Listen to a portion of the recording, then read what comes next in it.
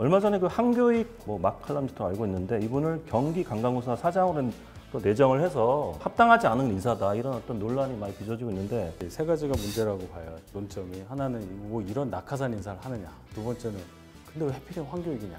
세 번째는 뭔 친일 논란이냐. 이게 세 가지인데 김정인 비대위원장께서 어제 말씀하시는 걸 제가 들으면서 참 부끄러웠는데 대선 후보들끼리 관광공사 그 뭔데 그걸 가지고 대선 주자들끼리 다투냐 라고 말씀하시는데 진짜 반박을 못 하겠더라고요. 예, 두 번째 주제 넘어가도록 하겠습니다. 그 어, 이재명 지사 이야기네요. 아 이야기도 참 뉴스에 참 많이 나왔는데 그 이재명 지금 도지사 지금 유지하고 있습니다. 그래서 도지사 관련 업무든 뭐 인사권 다 지금 갖고 이제 뭐 액션 다 하치하고 계시는데 어 얼마 전에 그 한교익 어, 막 칼럼니스트죠. 되게 유명하신 뭐막 칼럼니스트 알고 있는데 이분을 경기 관광공사 사장으로 또 내정을 해서 어, 이 너무 뭐 보온 인사다. 그좀 불합리한, 아니 그러니까 뭐 합당하지 않은 인사다. 이런 어떤 논란이 많이 빚어지고 있는데 먼저 이 사안에 대해서 어, 일단 뭐 야권에서 또 말씀도 많이 하셨으니까 뭐 야, 네, 여권에서도 또 경선 후보들께 또이 사안을 많이 또 가지고 이렇게 또 파이팅 하시더라고요. 먼저 윤 대변인 이 사안 제가 어떻게? 요 질문부터는 조금 이제 예. 재밌 재밌게 그래서 좀- 준비하고 계신 것 준비하고 계신 게 아, 아까 첫 질문은 제가 어떻게 할 수가 없었어요. 회- 회복이 아직 안 되었으니까 아, 너무 예, 세게 저- 하시면 다음 주에 또 못 나오십니다. 저요 부분은 이세 네, 가지예요. 부탁을 세. 가지, 세 가지, 세 가지가 문제라고 봐요. 논점이 하나는 뭐 이런 낙하산 인사를 하느냐. 두 번째는 근데 왜 하필이면 황교익이냐. 세 번째는 뭔 친일 논란이냐. 이게 세 가지인데 결과적으로 저는 이재명 지사의 이재명 후보의 분별력과 판단력이 많이 떨어진 것 같아요. 이 세 가지 측면에서 보면 굳이 이 경기관광공사라는 데가 그렇게 중요한 기관인지 는 모르겠는데 이 시점에 이런 얘기를 논란이 분명히 일어날 수 있는 상황인데 임명을 하려고 했다. 이런 얘기가 나올 이유가 없잖아요 이 경선 국면에서. 그래서 일단 그걸 전제를 깔고 이런 낙하산 인사 아니라고 아마 부인은 못할 거예요. 그렇잖아요 누가 봐도.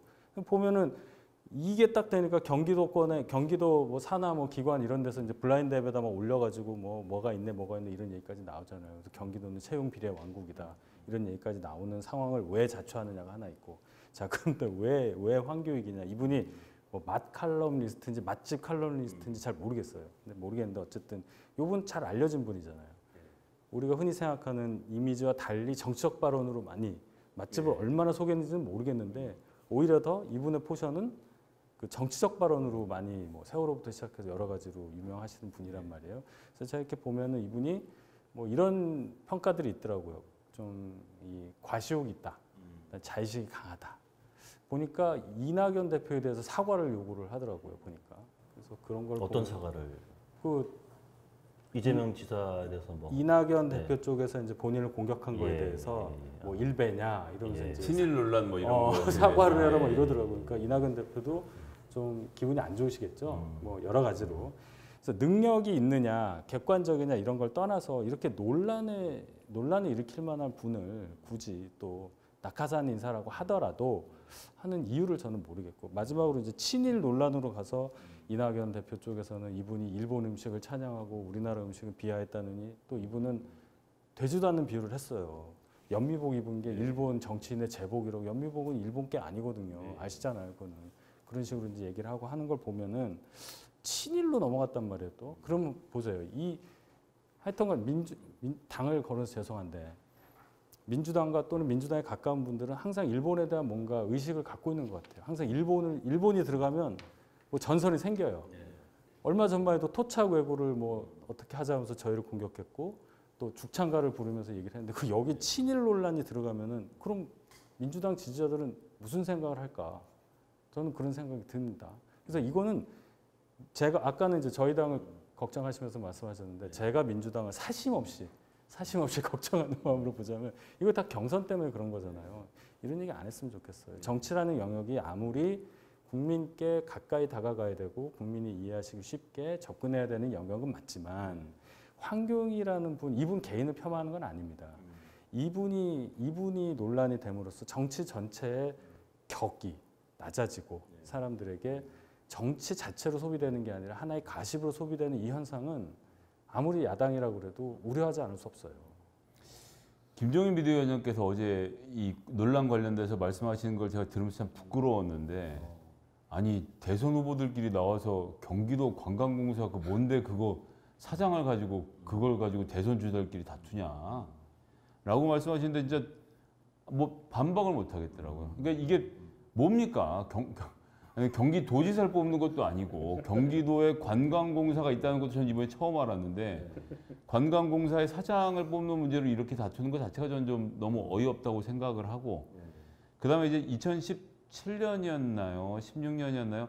남경필 지사님이 경기도에 계실 때 이제 소위 말하는 아 15년이었군요. 예, 15년이었습니다. 소위 말하는 이제 농공 행상이 그 국정감사에서 거론이 됐어요. 그래서 이제 민주당에서 뭐 파상 공세를 했죠. 2014년입니다. 선거 직후군요. 파상 공세를 하면서 뭐 이 사람 뭐고 이 사람 뭐고 전부 다 뭐 줄서기에 뭐 사다리 낙하산 막 나오면서 막 욕을 하는데 전 그때 이제 제가 보좌관으로 있을 때인데 저는 보면서 참 이해가 안 됐습니다. 아니 이거 뭐 민주당이 정권 잡으면 자기들 코드 맞는 인사들 안 합니까? 다 하는 거거든요. 그러니까 주어진 인사를 임명할 수 있는 자리에 본인의 정치 철학 혹은 민주당의 정치 철학을 구현할 사람들 배치하는 건 너무나도 당연하고 거꾸로 놓고 보면 뭐 한나라당 입장에서도 뭐 새누리당 입장에서도 남경필 지사하고 맞는 사람 그리고 선거 때 도움을 받았던 사람들 뭐 여러 가지들을 고려해서 임명할 수밖에 없다라고 하면서 남경필 지사 그때 이제 웃으시면서 뭐 그렇게 말씀하시는 것을 알긴 알겠지만 현실적으로 저희 어려움 있는 거 우리 의원님도 잘 아시지 않느냐 하면서 말씀하셨던 게 기억이 나요. 그래서 이, 이런 종류의 논란은 사실 쓸데가 없다. 그리고 더 중요하게는 지금 이제 2010뭐 기준을 바꿨다고 하는데 기준을 바꾼 것은 도의회가 2018년에 지적을 해서 2018년 12월에 바꾼 기준이라고 하는 것이고 이 기준을 원래 누가 만들었냐? 관료들이 만들거든요. 관료들이 자기들 퇴직하고 나서 어디 사장 가고 어디 감사 가고 어디 이사 가려고 굉장히 좁게 범위를 만들어서 뭐 동종 관련돼서 뭐 교수 생활 20년, 관료 생활 20년 이런 거 한 사람 아니면 아예 접근을 못 해놓게 해서 자기들끼리 카르텔 있던 것들이 이제 이게 지방자치 선거가 되면서 이런 카르텔들을 깨는 중인 겁니다. 그래서 더 많은 민간인들이 들어오는 게 당연하다고 저는 생각을 하고요. 이분이 이제 맛집 칼럼니스트라 물론 맛 칼럼니스트인데 이제 맛집 소개하는 걸로 유명해진 건 사실 수요 미식회 영향이 큰데 그건 이제 그분이 하시는 일이 한 100분의 1 정도밖에 안 되고 우리 서병수 의원님이 더, 더 잘하시지만 예, 부산 푸드 필름 페스티벌을 창시해서 5년째 운영 위원장을 지금 황교익 선생한테 맡겨서 하고 있거든요. 이게 잘 되니까. 실제로 평가가 좋으니까. 그래서 관광 자원으로서 활용하는 점에서 잘 보여줬던 점이 있기 때문에 저는 그래서 이제 이런 논란들에 대해서는 뭐 대변인 말씀 대부분 동의하고 특히 친일 부분은 제가 정말 100% 동의하는 게 진중권 작가도 어제 그런 비판 일, 민주당에서 일침을 놨던데 그러니까 민주당이 이제 당 밖에 있는 사람들 보고 이제 뭐 이 뭐라 그러죠? 그 본토 외구들 중에 여기 태어난 토착 외구. 예, 예, 저 잘 쓰질 않은 말이라. 예. 토착 외구. 제가 얘기했잖아요. 토착 외구. 우리가 토착 예. 외구래. 토착 외구라고 욕하다가 이제 당내에서 서로를 놓고 지금 이제 뭐 친일파 논쟁을 하는 거냐라고 하는데 근데 보면 황교익 씨가 불고기는 불고기란 말이 일본에서 소육 야끼니쿠가 먼저 나와서 그 말이 따라온 거다는 얘기를 하는 거지 똑같은 걸 베꼈다는 얘기 근원 음식의 근원 얘기하는 게 아니었고 회는 수조로 서울에 끌고 올라와서 먹으려면 항생제 먹여갖고 화로를 끌고 올라오는데 그렇게 하지 말고 그냥 현장에서 잡아서 이 포만 떠갖고 필레를 먹는 선어 문화를 발전시키는 게 좋겠다. 이거 일본이 잘한다라는 소개를 한 건데 어떤 식습관 중에서 일본의 좋은 장점을 소개한 것을 친일파로 몰고 가는 거는 아 저는 그거는 이낙연 캠프가 굉장히 부끄러운 일을 했다고 생각해요. 아니 저도 회, 회를 굉장히 좋아하는 이름에도 해자가, 해자가 들어갑니다만 애호가의 한 사람으로서 이제 이 이런 식으로 문화와 음식의 영역에서까지 상대 나라를 칭찬하는 행위를 가지고 뭐라고 욕하는 거는 이건 민주당이 아주 잘못하고 있는 일이라고 생각합니다. 그래서 이 사람도 좀 본질을 보면은 뭐 이, 이재명 지사 같은 경우는 어, 말씀대로 음식, 문화, 사실 뭐 관광 다 연결되는 부분이라서 어, 매우 이 업무를 잘 하실 분이라는 이제 말씀을 했지만 여기에 대한 그 오히려 여기 문제 제기는 그 이낙연 후보 쪽이 하신 것 같아요. 뭐 야권도 하긴 하지만 또 지금 요 대본도 이낙연 후보 쪽만 나왔네 지금. 그래서 같은 당 이 경선 과정에서도 그래서 뭐 계속 네가티브니 이런 이슈도 많이 있었는데 아, 계속 뭔가 꺼- 계속 이게 거리를 만드는 게 아닌가라는 생각 드는데 어떻게 보면 제가 관광공사 사장으로 갔다 네. 그러면 공정의 시비를 붙이겠는데 음. 황교익 씨 같은 누가 봐도 전문가를 가지고 이런 공정의 시비를 붙이면 이것은 제가 보기에는 이재명 후보에게 타격이 되기보다는 오히려 여기다 플러스 친일 논란까지 불러서 집어넣은 이낙연 후보 측에게 손해가 나지 않을까. 좀 더 정치를 대국적으로 지금 이게 대선 후보 나온 거 아닙니까? 코로나19로 어려운 자영업자들을 위해서 난 이렇게 하겠다. 라는 이야기를 해야 될 때 이번에 존재를 처음 알게 된 경기도 관광공사 사장자를 놓고 어, 공격을 한 것은 예, 별로 옳지 않다고 생각합니다. 제가 한 말씀 첨언을 하면 이낙연 후보 쪽에서는 그 공격할 수밖에 없을 거예요. 2등 후보니까. 그러면 이제 1등 후보인 이재명 후보가 임명을 하시는 분이고 하니까 이랬으면 어떨까 싶어요. 기자분들이 물어봤는데 질문에 답을 안 하고 가셨단 말이에요. 본인이 그래도 임명한 사람이고 본인 때문에 논란이 촉발돼서 괴로워할 분은 황교익 그 지명자라고 해야 되나요? 그분이 제일 기분이 안 좋으실 텐데 그분을 좀 보호해주는 말씀을 제대로 하셨어야 돼요. 내가 지사가요. 그렇죠. 네, 예. 본인이 임명한 거잖아요. 그러면 음. 뭐라도 얘기를 해서 그분에 대한 세간에서 일어나는 비난을 좀 불식시킬 수 있는 오해를 떨굴 수 있는 모습을 리더로서 보여줬어야 하고 황교익 평론가 이분도 제가 볼 때는 이렇게 감정적으로 대응하기보다는 조금 더 본인이 가지고 있는 어- 어찌되었건 공직에 임명이 되려고 하는 상황이니까 조금 더 공식적인 멘트를 통, 하면서 좀 이거를 가라앉히는 역할을 했으면 그동안에 일어났었던 여러 가지 논란을 오히려 더 줄어들게 만드는 효과가 있었을 텐데 아까 말씀드렸듯이 즉각 반응을 한 거예요. 조금 이렇게 참고 멀리 보는 게 아니라 바로 반응을 하시니까 이게 또 이렇게 되지 않았나 안타깝게 생각합니다. 야권에서는 계속 그 이낙연 캠프에 그 고마워하시는 게 아니, 있더라고요. 그런 게 아니에요. 제가 계속 말씀드리지만 이게 누구에게도 좋지 않다니까요. 이게 한 번 하고 끝나는 그런 게임이 아니잖아요. 아니 이두화 변호사님 고맙습니다 하시던데. 아, 이도하 변호사님이 고맙다고 하시면 저도 그럼 그- 뭐, 네. 사이다 한잔 하시죠. 근데 뭐 당장 예, 당장 윤석열 캠프에서도 대권 이기려고 하시는 건데 대권 이기고 나면 수많은 자리들이 생기는데 예, 똑같은 논란이 또 벌어지게 돼 있기 때문에 이 문제에 대해서는 우리가 솔직하게 국민들에게 설명하고 이해를 구하고 합의를 끌어내는 게 좀 여야 간에도 필요하다고 생각합니다. 그럼요. 예. 기본적으로 민주정치에서 선거에서 승리하면 역관주의라는 게 작동하잖아요. 관직을 사냥한다는 얘기 아닙니까? 어느 정도 그거에 대해서는 국민적 합의가 당연히 있는 거고. 근데 중요한 건 이렇게 튀는 분이 왔을 때 어떻게 해야 되느냐. 그 관리는 어느 캠프가 되든 해야 되는 거죠. 네. 네, 세 번째 이슈 계속 여권 이야기를 해보도록 하겠습니다. 조국 씨에 대한 이야기가 또 소환됐네요. 어, 며칠 전인 것 같습니다. 그 추미애 전 법무부 장관이 그 조- 어, 연합뉴스 인터뷰에서 나온 이야기 같은데요. 어, 정확히는 조 전 장관 배우자 그 정경심 씨그 항소심 판결에 대해서 이제 이야기한 건데 어, 이분은 이제 안중근 이야기를 했어요. 안중근이 이토 히로부를 저격하고 일본 재판관의 재판을 받아 테러리스트가 대 사형 집행을 당했는데 그렇게 끝났으니 일본의 지배를 받아들이고 협조하자는 얘기나 똑같다 이제 이렇게 어, 이야기가 돼서 어, 이제 와서 조국을 묻어두자는 얘기냐. 그래서 여권 인사 뭐 추미애 장관 이야기를 주로 한 이야기인데 여권 인사들이 어, 조국 어, 전 장관을 옹호하는 거에 대해서 어, 뭐 비판도 있고 논란도 많이 있는데 어, 일단은 이 추미애 장관이 이 조국 씨의 그러니까 조국 전 장관에 대해서 좀 옹호하는 어떤 그런 뉘앙스의 발언을 한 이유에 대해서 대변인 좀 어떻게 좀 바라보시는지 예. 일단 어, 네, 계속 논란이 되는 예, 건데 사법개혁, 검찰개혁이라는 임무를 가지고 법무부 장관이 됐고 그 과정에서 윤석열 검찰총장하고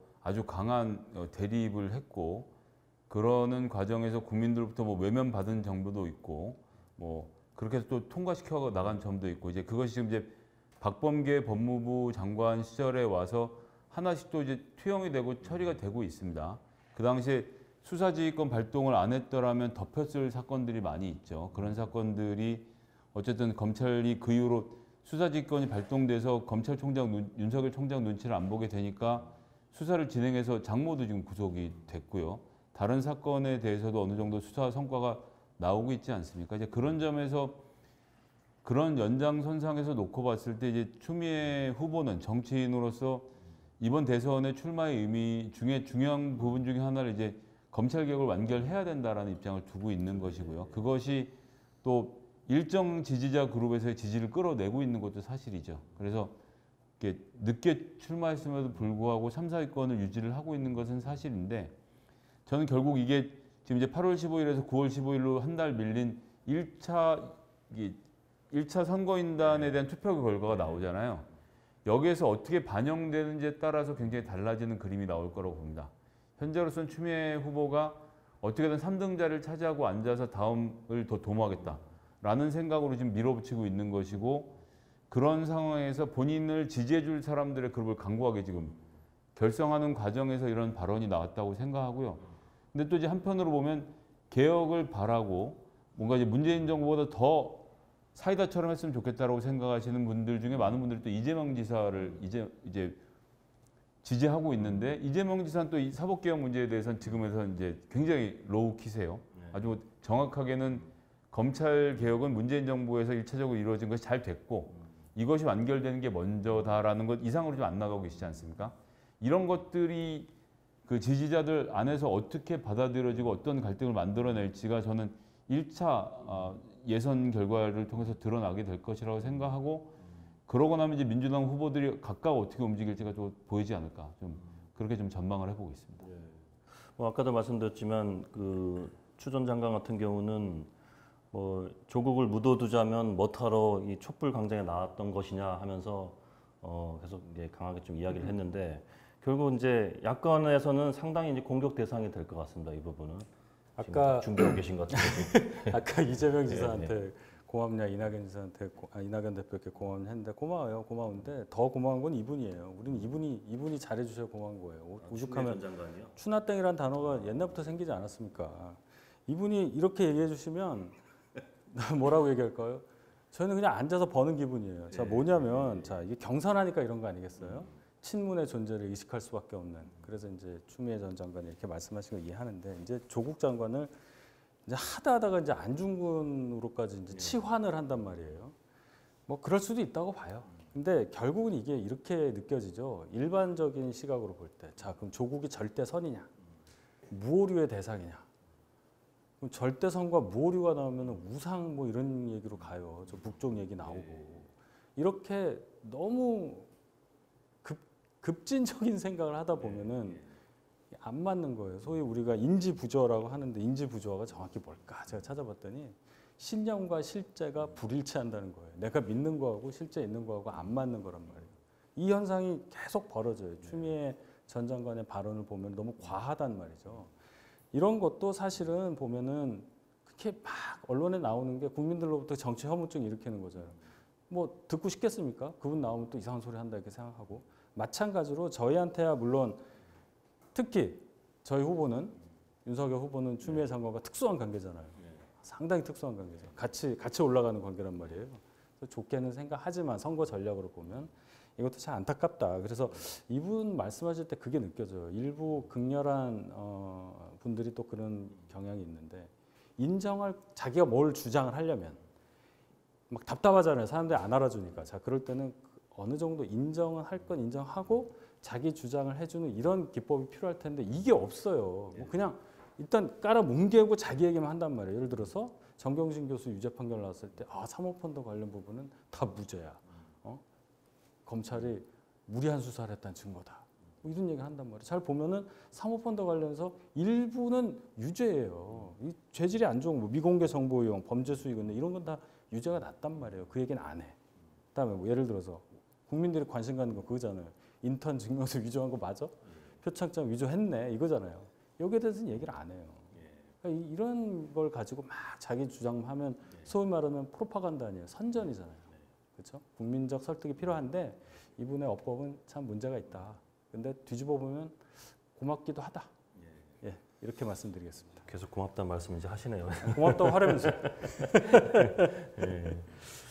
뭐이 부분도 그 어쨌든 추미애 전 장관 말씀하셨지만은 그래도 뭐 여권에서 어떤 검찰 개혁의 최선두에 계셨던 분이기 때문에 뭐 자기 어필일 수도 있고 또 상당히 어떤 중요한 아이템일 수도 있을 것 같아요.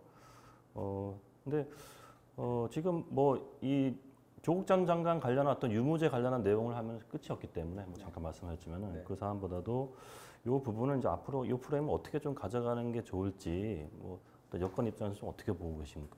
그래서 이제 이 야권에서 이 말씀들 많이 하실 때 이게 여권 지지자 그룹 이렇게 있으면 그 중에서 한 절반 정도는 소위 말하는 문파 문재인 지지자 뭐 조국 지지자 이제 뭐라고 불러도 하여튼 이런 사람들이 대다수가 잡고 당을 흔드니까 당이 문제가 된다라는 비판들을 많이 하시는데 전 이제 그 얘기를 그대로 요 지금 상황에 놓고 초역해 보면 그래서 후보 중에 유일하게 조국을 지키자고 말을 하고 있는 추미애 후보가 받고 있는 지지율을 놓고 보면 의외로 또 민주당 지지자들이 냉정하다는 거죠. 그러니까 조국 교수에 대한 재판이 부당하고 지금 내려지고 있는 판결이 잘못됐고 판사가 잘못했다고 생각할 지언정 그래서 그것에 대해서 추미애 후보가 얘기하고 있는 지언정 지금 중요한 것은 어쨌거나 대선에서 승리하는 것이다라고 생각하고 전략적으로 접근을 하는 거거든요. 그러니까 인간이라는 게 이렇게 있으면 그 중에서 한 요 정도가 예를 들면 사법개혁과 조국에 대한 생각을 하고 있는 건데 이 생각을 하고 있다고 해서 이 사람들이 다 이런 것이다라고 하는 프레임이